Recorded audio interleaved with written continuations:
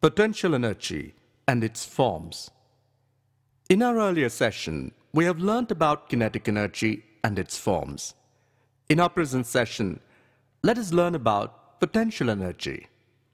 Potential energy is one of the types of mechanical energy.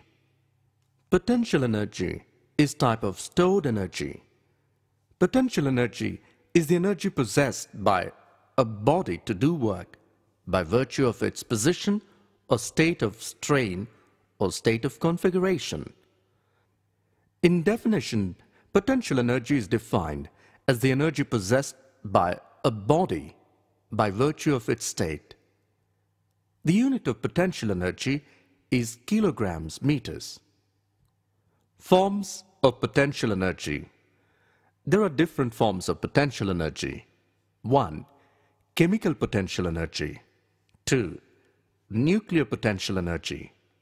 3. Gravitational potential energy. 4. Elastic potential energy. Chemical potential energy.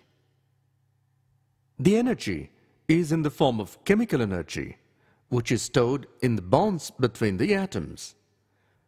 When the bonds are broken, the stored energy is released and absorbed and new bonds are formed. Nuclear energy. Nuclear energy is another stored form of potential energy in the nucleus. The fusion of atoms or split of atoms through a reaction is called as nuclear reaction. In nuclear reaction, if atoms split into new atoms, then it is called as nuclear fission. In nuclear reaction, if atoms join together to form new kind of atoms, is called as nuclear fusion. Gravitational potential theory. Gravitational energy is another form of potential energy. Any energy that is used to work against the gravitation is called gravitational energy. For example, when we lift an object away from the ground, the energy that is gained by the object is said to be as gravitational potential energy. If we drop the object towards the ground, then potential energy turns into kinetic energy. Elastic potential theory. Elastic energy is a form of stored potential energy.